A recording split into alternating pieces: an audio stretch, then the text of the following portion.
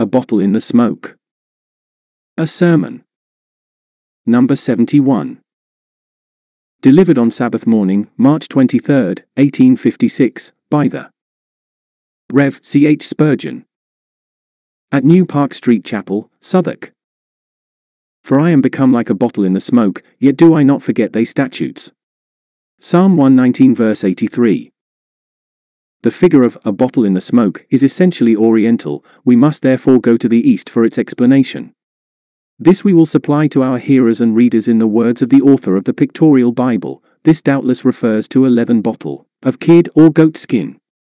The peasantry of Asia keep many articles, both dry and liquid, in such bottles, which, for security, are suspended from the roof, or hung against the walls of their humble dwellings.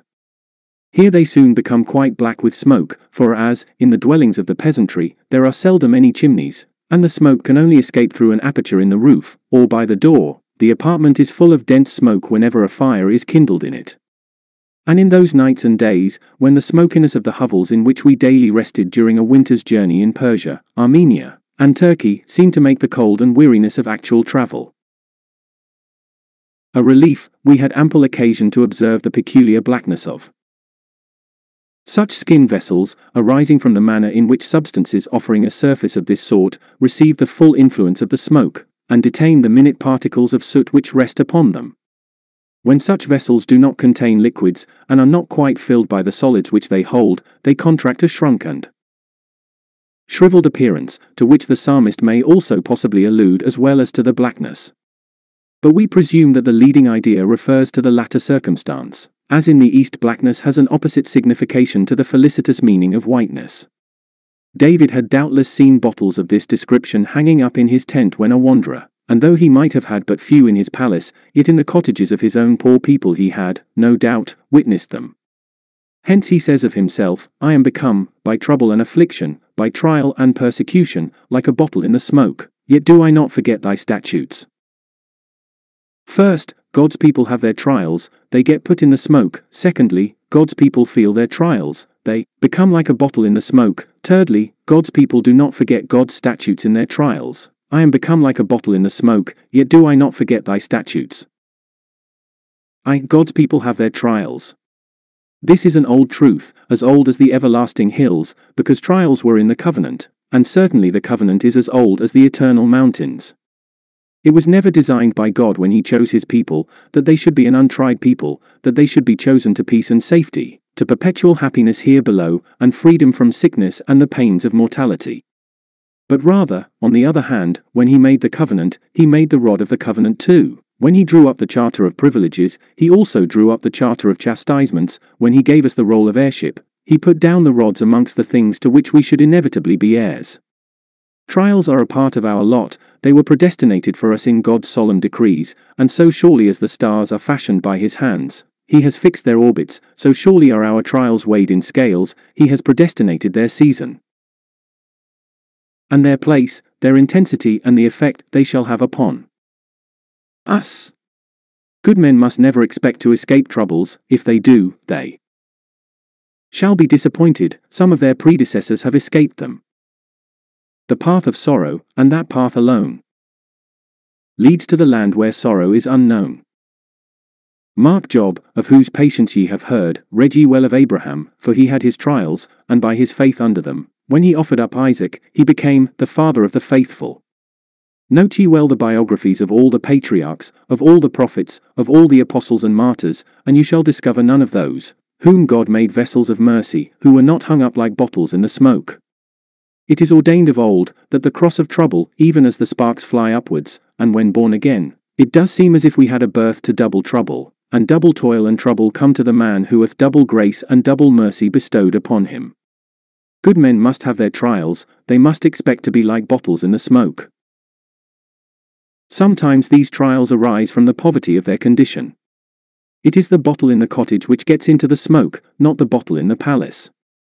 The Queen's plate knows nothing of smoke, we have seen at Windsor how carefully it is preserved, it knoweth nothing of trial. No hands are allowed to touch that, so as to injure it, although even it may be stolen by accident when the guards are not careful over it. Still, it was not intended to be subject to smoke. So with God's poor people, they must expect to have smoke in their dwellings. We should suppose that smoke does not enter into the house of the rich, although even then our supposition would be false. But certainly we must suppose there is more smoke where the chimney is ill built, and the home is altogether of bad construction. It is the poverty of the Arab that puts his bottle in the smoke, so the poverty of Christians exposes them to much trouble, and inasmuch. As God's people are for the most part poor, for that reason must they always be for the most part in affliction. We shall not find many of God's people in the higher ranks, not many of them shall ever be illustrious in this world. Until happier times come, when kings shall be their nursing fathers, and queens their nursing mothers, it must still be true that God hath chosen the poor in this world, rich in faith, that they should be heirs of the kingdom. Poverty hath its privileges, for Christ hath lived in it, but it hath its ills, it hath its smoke, it hath its trials. Ye know not sometimes how ye shall be provided for, ye are often pinched for food and raiment, ye are vexed with anxious cares. Ye wonder whence tomorrow's food shall come, and where ye shall obtain your daily supplies. It is because of your poverty that ye are hung up like a bottle in the smoke. Many of God's people, however, are not poor, and even if they are, poverty does not occasion so much trouble to them as some suppose. For God, in the midst of poverty, makes his children very glad and so cheers their hearts in the cottage that they scarce know whether it be a palace or a hovel. Yea, he doth send such sweet music across the waters of their woe, that they know not whether they be on dry land or not. But there are other trials, and this brings us to remark that our trials frequently result from our comforts. What makes the smoke? Why, it is the fire, by which the Arab warms his hands, that smokes his bottle, and smokes him too. So, beloved, our comforts usually furnish us with troubles. It is the law of nature that there should never be a good without having an ill connected with it. What if the stream fertilize the land? It can sometimes drown the inhabitants. What if the fire cheer us? Doth it not frequently consume our dwellings? What if the sun enlighten us? Does he not sometimes scorch and smite us with his heat? What if the rain bring forth our food, and cause the flowers to blossom on the face of the earth? Does it not also break the young blossom from the trees, and cause many diseases? There is nothing good without its ill, there is no fire. Without its smoke. The fire of our comfort will always have the smoke of trial with it. You will find it so, if you instance the comforts you have in your own family. You have relations, mark you, every relationship engenders its trial, and every fresh relationship upon which you enter opens to you, at one time certainly, a new source of joys, but infallibly also a new source of sorrows. Are you parents?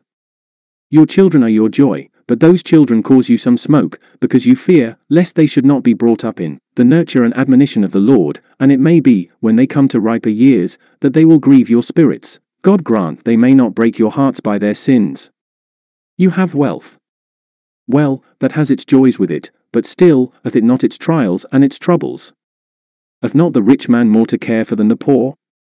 He who hath nothing sleepeth soundly, for the thief will not molest him, but he who hath abundance often trembles lest the rough wind should blown down that which he hath builded, lest the rude storm should wreck that argosy laden with his gold, lest an overwhelming and sudden turn in the tide of commerce should sweep away his speculations and destroy his hopes. Just as the birds that visit us fly away from us, so do our joys bring sorrow with them. In fact, joy and sorrow are twins, the blood which runs in the veins of sorrow runs in the veins of joy too. For what is the blood of sorrow, is it not the tear? And what is the blood of joy? When we are full of joy, do we not weep? Ah! That we do. The same drop which expresses joy is sorrow's own emblem, we weep for joy, and we weep for sorrow. Our fires give smoke, to tell us that our comforts have their trials with them. Christian men. You have extraordinary fires, which others have never kindled, expect then to have extraordinary smoke. You have the presence of Christ, but then you will have the smoke of fear, lest you should lose it. You have the promise of God's word, there is the fire of it, but you have the smoke sometimes, when you read it without the illumination of God's Spirit.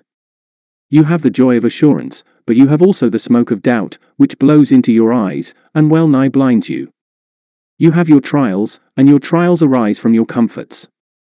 The more comfort you have, the more fire you have, the more sorrow shall you have, and the more smoke. Again, the ministry is the great fire by which Christian men warm their hands, but the ministry hath much smoke with it. How often have you come to this house of God and had your spirits lifted up? But perhaps as often ye have come here to be cast down. Your harp strings at times have been all loose, you could not play a tune of joy upon them, you have come here, and Christ tuned your harp, so that it could awake like David's harp of solemn sound. But at other times you have come here, and had all the rejoicings removed from you, by some solemn searching sermon. Last Sabbath day, how many of you there were like bottles in the smoke? This pulpit, which is intended at times to give you fire, is also intended to have smoke with it. It would not be God's pulpit if no smoke issued from it. When God made Sinai his pulpit, Sinai was altogether on a smoke. You have often been like bottles in the smoke, the smoke caused by the fire of God's own kindling, the fire of the gospel. Ministry. I think, however, that David had one more thought. The poor bottle in the smoke keeps there for a long time, till it gets black, it is not just one puff of smoke that comes upon it. The smoke is always going up, always girding the poor bottle, it lives in an atmosphere of smoke. So, beloved, some of us hang up like bottles in the smoke, for months, or for a whole year. No sooner do you get out of one trouble, than you tumble into another, no sooner do you get up one hill, than you have to mount another, it seems to be all uphill to heaven with you. You feel that John Bunyan is right in his ditty, a Christian man is seldom long at ease, when one trouble's gone, another doth him seize. You are always in the smoke. You are linked perhaps with an ungodly partner, or perhaps you are of a singular temperament, and your temperament naturally puts clouds and darkness round about you, so that you are always in the Smoke. Well, beloved, that was the condition of David, he was not. Just sometimes in trial, but it seemed as if trials came to him every day. Each day had its cares, each hour carried on its wings some fresh tribulation, while, instead of bringing joy, each moment did but toll the knell of happiness, and bring another grief. Well, if this is your case, fear not, you are not alone in your trials, but you see the truth of what is uttered here, you are become like bottles in the smoke. 2. This brings us to the second point Christian men feel their troubles. They are in the smoke, and they are like bottles in the smoke. There are some things that you might hang up in the smoke for many a day, and they would never be much changed, because they are so black now, that they could never be made any blacker, and so shriveled now, that they never could become any worse. But the poor skin bottle shrivels up in the heat, gets blacker, and shows at once the effect of the smoke, it is not an unfeeling thing, like a stone, but it is at once affected. Now, some men think that grace makes a man unable to feel suffering. I have heard people insinuate that the martyrs did not endure much pain when they were being burned to death, but this is a mistake. Christian men are not like stones, they are like bottles in the smoke. In fact, if there be indifference, a Christian man feels his trials more than another, because he traces them to God, and that makes them more acute, as coming from the God whom he loves. But at the same time, I grant you, it makes them more easy to bear, because he believes they will work the comfortable fruits of righteousness. A dog will bite the stone that is thrown at it, but a man would resent the injury on the man that threw the stone. Stupid, foolish, carnal unbelief quarrels with the trial, but faith goes into the court of king's bench at once, and asks its God, Wherefore dost thou contend with me? But even faith itself does not avert the pain of chastisement, it enables us to endure, but does not remove the trial.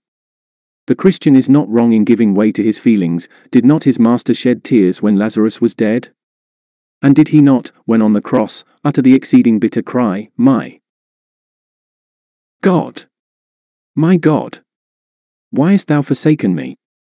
Our Heavenly Father never intended to take away our griefs when under trial, He does not put us beyond the reach of the flood, but builds us an ark, in which we float, until the water be ultimately assuaged, and we rest on the Ararat of heaven forever. God takes not his people to an Elysium where they become impervious to painful feelings, but he gives us grace to endure our trials, and to sing his praises while we suffer.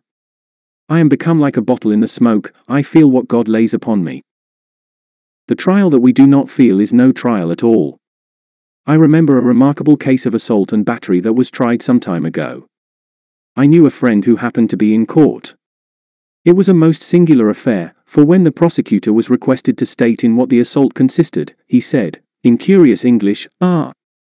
Sir, he struck me a most tremendous blow. Well, but where did he strike you? Well, sir, he did not hit me, it only just grazed me. Of course, the judge said there was no assault and battery, because there was no real blow struck. So we sometimes meet with persons who say, I could bear that trial if it did not touch my feelings. Of course you could, for then it would be no trial at all.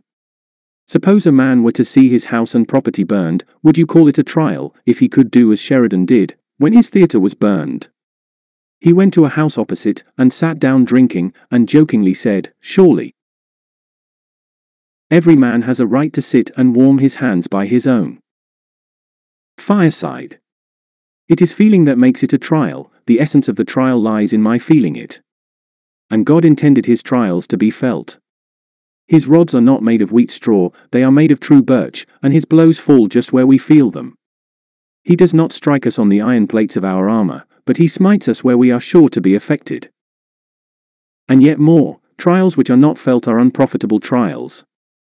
If there be no blueness in the wound, then the soul is not made better, if there be no crying out, then there will be no emptying out of our depravity.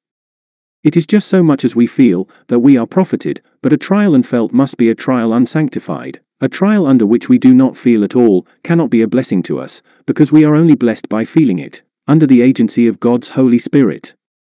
Christian man. Do not blush, because you are like a bottle in the smoke, because you are sensitive under affliction, for so you ought to be. Do not let others say, you ought not feel it so much, because your husband is dead, or your child is dead, or you have lost your property. Just tell them that you ought, for God sent the trouble, that you might feel it, not excessively, and murmur against God, but that you might feel the rod, and then kiss it. That is patience, not when we do not feel, but when we feel it, and say, Though he slay me, yet will I trust in him. I am like a bottle in the smoke. Now, a bottle, when it is in the smoke, gets very black, so does the Christian, when he is in the smoke of trial, or in the smoke of the gospel ministry, or the smoke of persecution, get very black to his own esteem. It is marvelous how bright we are when everything goes right with us, but it is equally marvelous how black we get when a little tribulation comes upon us. We think very well of ourselves while there is no smoke, but let the smoke come, and it just reveals the blackness of our hearts. Trials teach us what we are, they dig up the soil, and let us see what we are made of, they just turn up some of the ill weeds on the surface. They are good, for this reason, they make us know our blackness. A bottle, too, that hangs up in the smoke, will become very useless.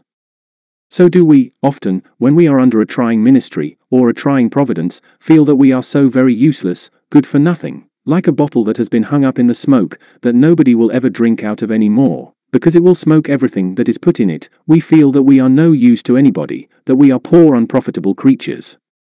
In our joys we are honorable creatures, we scarcely think the Creator could do without us, but when we are in trouble, we feel, I am a worm, and no man, good for nothing, let me die, I have become useless, as well as black, like a bottle in the smoke.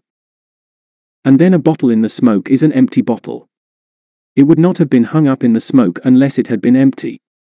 And very often under trials how empty we become, we are full enough in our joys, but the smoke and heat soon dry every atom of moisture out of us, all our hope is gone, all our strength is departed. We then feel that we are empty sinners, and want a full Christ to save us. We are like bottles in the smoke.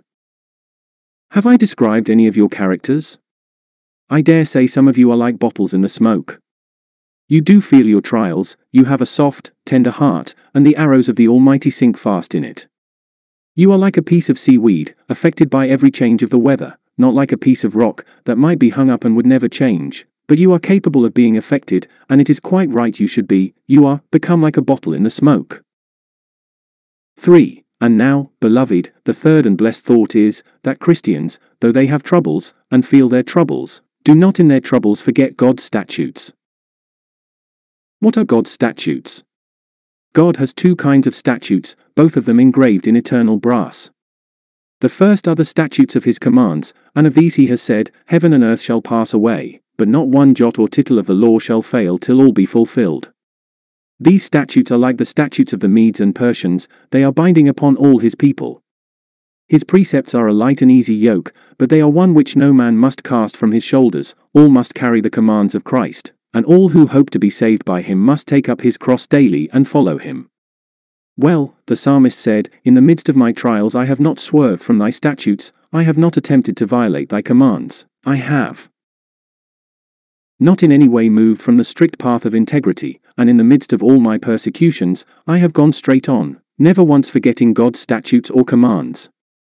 And then again, there are statutes of promise, which are equally firm, each of them as immortal as God who uttered them. David did not forget these, for he said of them, Thy statutes have been my song, in the house of my pilgrimage, and he could not have sung about them if he had forgotten them. Why was it David still held fast by God's statutes? First of all, David was not a bottle in the fire, or else he would have forgotten them. Our trials are smoke, but not fire, they are very uncomfortable, but they do not consume us. In other parts of Scripture, the figure of fire may be applied to our trials, but here it would not be appropriate, because the bottle would be burned up directly, if it were in the fire. But the Christian may say, True, it is all smoke round about me, but there is nothing which tends to burn up my piety. Smoke may dim my evidence, but it cannot burn it, it may, and certainly will, be obnoxious to my eyes and nose, and all my senses, but it cannot burn my limbs, it may stop my breath, and prevent my drinking in the pure air of heaven, but it cannot consume my lungs and burn the vital parts of my body. Ah! It is well for thee, O Christian, that there is more smoke than fire in thy trials. And there is no cause why you should forget your God in your Troubles, they may have a tendency to drive you from him, but like great waves, they often wash the driftwood of the poor lost barks upon the beach of God's love, and the mast, that might have floated out to sea, and been carried no one knows where, if often stranded on the shore, and there once more is made to do fresh service. So art thou, Christian, washed on shore by the waves of thy trouble, and never art thou washed away by them. I have not forgotten thy statutes. Another reason why, when David was in the smoke, he did not forget God's statutes was this, that Jesus Christ was in the smoke. With him, and the statutes were in the smoke with him too. God's statutes have been in the fire, as well as God's people. Both the promise and the precept are in the furnace, and if I hang up in the smoke, like a bottle, I see hanging up by my side, God's commands, covered with soot and smoke, subject to the same perils. Suppose I am persecuted, it is a comfort to know that men do not persecute me, but my Master's truth. It is a singular thing, with regard to all the envenomed shafts that have been hurled at me, that they have generally fallen on that part of my frame which is most invulnerable, because they have generally fallen on something I have quoted from somebody else, or proved from Scripture. They may go on, it is sweet to think that Jesus Christ is in the smoke as well as we are, and the more flame there is, the better we shall be able to see our Master in the smoke with us. By God's command where I stray. Sorrow attends me all the way. A never failing friend. And, if my sufferings may augment, thy praise, behold me well content. Let sorrow still attend. It costs me no regret that she who followed Christ should follow me. And though wherever she goes, thorns spring spontaneous at her feet. I love her and extract a sweet from all my bitter woes. Another reason why David did not forget the statutes was, they were in the soul, where the smoke does not enter. Smoke does not enter the interior of the bottle, it only affects the exterior. So it is with God's children, the smoke does not enter into their hearts, Christ is there, and grace is there, and Christ and grace are both unaffected by the smoke. Come up, clouds of smoke. Curl upward, till ye envelop me. Still will I hang on the nail, Christ Jesus, the sure nail, which never can be moved from its place, and I will feel, while the outward man decayeth, the inward man is renewed day by day, and the statutes being there, I do not forget them. For I am become like a bottle in the smoke, yet I do not forget thy statutes. To such of you as can join with David, let me give a word of consolation. If you have been persecuted, and still hold fast by God's word, if ye have been afflicted, and still persevere in the knowledge of our Lord and Master, you have every reason to believe yourself a Christian. If under your trials and troubles you remain just what you were when at ease, you may then hope, and not only so, but steadfastly believe and be assured that you are a child of God. Some of you, however, are very much like Christians when you hear sermons full of promises, when I preach to you about bruised reeds, or address you with the invitation, Come unto me, all ye that labour, but when I give you a smoky sermon, one which you cannot endure, if you then can say, Guilty, weak, and helpless I may be, but still I fall into his arms. Sinful I know I am, and I have grace cause for doubt, but still. There, there, unshaken will I rest. Till this vile body dies. I know, poor, weak, and helpless though I am, that I have a rich almighty friend, if you can stand a little smoke, then you may believe yourself to be a child of God. But there are some fantastic people we know of, who are shocked with a very puff of smoke, they cannot endure it, they go out at once, just like rats out of the hold of a ship when they begin to smoke it, but if you can live in the smoke and say, I feel it, and still can endure it, if you can stand a smoky sermon, and endure a smoky trial, and hold fast to God under a smoky persecution, then you have reason to believe that you are certainly a child of God. Fair weather birds. You are good for nothing, it is the stormy petrels that are God's favorites. He loves the birds that can swim in the tempest, he loves those who can move in the storm, and like the eagle, companion of the lightning flash, can make the wind their chariot, and ride upon forked flames of fire. If in the heat of battle, when your helmet is bruised by some powerful enemy, you can still hold up your head and say, I know whom I have believed, and do not swerve from your post. Then you are verily a child of heaven, for constancy, endurance, and perseverance are the true marks of a hero of the cross, and of the invincible warriors of the Lord. Those are no invincible ships that flee away before a storm. He is no brave warrior who hears reports from others that a fort is impregnable and dares not attack it, but he is brave, who dashes his ship beneath the guns, or runs her well nigh aground, and gives broadside after broadside with a desperate valour against his foe, he who in the smoke and the tempest, in the clamour and roar of the battle, can yet coolly give his commands, and knowing that every man is expected to do. His duty, can fight valiantly, he is a brave commander, he is a true soldier, he shall receive from his master a crown of glory. O Christian! Cleave to thy master in the smoke, hold unto thy Lord in the trials, and thou shalt be refined by thine afflictions, yea, thou shalt exceedingly increase, and be profited beyond measure. However, I have some here who can consume their own smoke. There are some of my congregation who, when they have any trials, can manage to get over them very well themselves. They say, Well, I don't care, you seem to be a sad set of simpletons, you feel everything, but as for me, it all rolls off, and I don't care for anything. No, I dare say you don't, but the time will come when you will find the truth of that little story you used to read when you were children. That don't care came to a very bad end. These persons are not like bottles in the smoke, but like pieces of wood hanging over it. But they will find there is something more than smoke by and by, they will come to a place where there is not only smoke, but fire. And though they can endure the smoke of this world's troubles, they will find it not so easy as they imagine to endure the unutterable burnings and the everlasting flames of that pit whose fire knows no extinction, and whose worm shall know no death.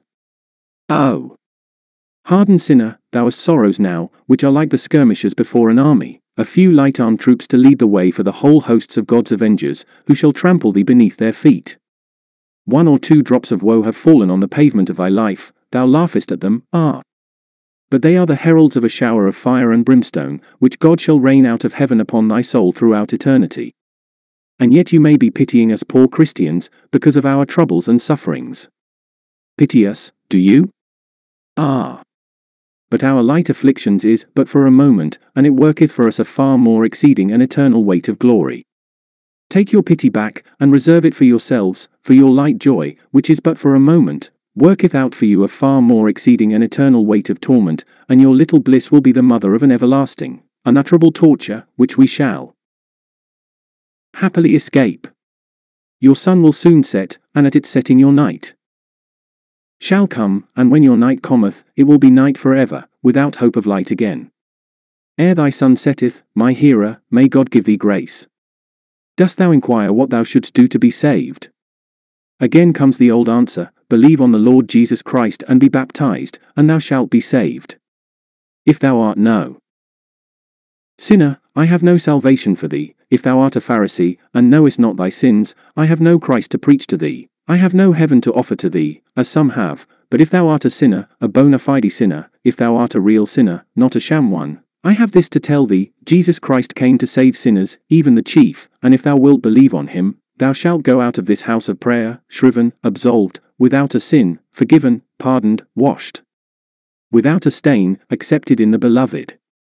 As long as thou livest, that pardon shall avail thee, and when thou diest, thou wilt have naught to do, but to show it at the gates of paradise, to gain admittance. And then, in a nobler and sweeter song, that pardon shall form the basis of thy praise, while heaven's choirs shall sing, or while the praise of the eternal shall be the chaunt of the universe. God bless thee. Amen.